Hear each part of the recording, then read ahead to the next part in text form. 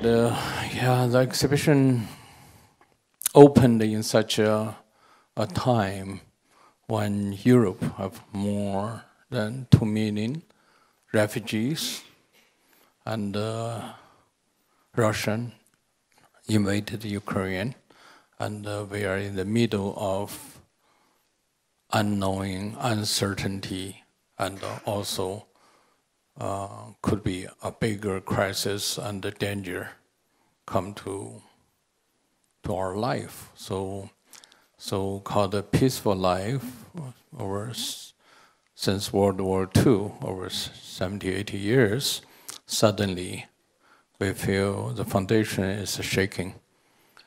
Uh, foundation of democracy or freedom are shaking.